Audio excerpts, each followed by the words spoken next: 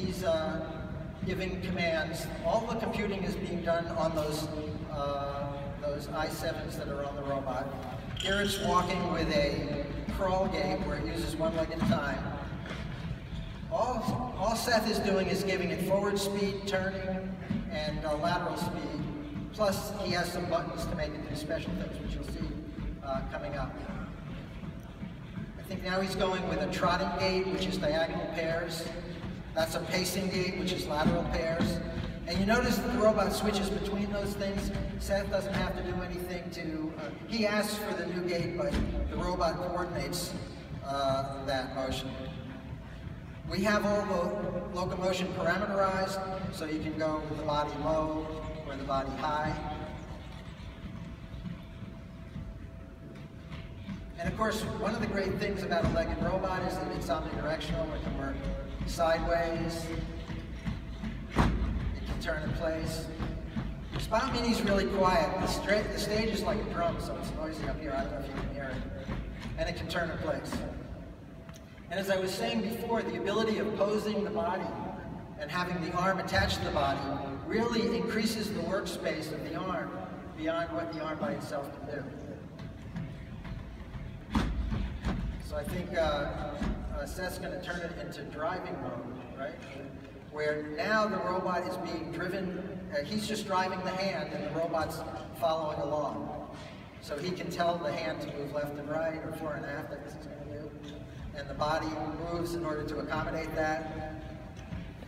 Uh, this isn't a panacea. Once you have the body moving around as a slave to the hand, you have to think about a lot of things that you never thought you'd have to worry about.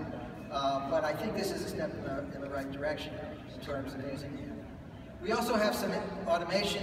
If you open up the hand, if you look there, you'll see there's a little black spot. There's actually a, a camera in there. And uh, we have a little demo where it's going to automatically, uh, here, Spot, could you get me that uh, can of uh, coconut juice there?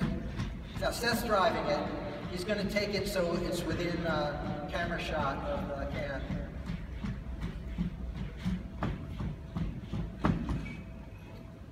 And it's going to do a search. And when it finds it, it'll grab it. So he's Seth's not controlling it. And then, uh, you know, he can bring it over to me, but I think he can just it back. It's an empty can, I know, because it's just a problem. There's a lot of things that aren't general yet about the solution. You know, we that's our table, and it's our can. Uh, it can do other cans, but uh, you know, we're working out some of the uh, performance of those tasks. And here Seth's driving it by hand, telling the arm, driving the hand and getting it to open. So um, Spot's kind of a proud robot, so it likes to show off. Uh, so it's got a few uh, dynamic gaits that it can do, more dynamic than the others. You'd think that was enough of a show-off game, but it has one more. I don't know if you can see, but it's using diagonal, uh, just two legs at a time. Should be doing one leg, but he crapped out at, uh, at two. And, uh, okay, that's the end of the spot.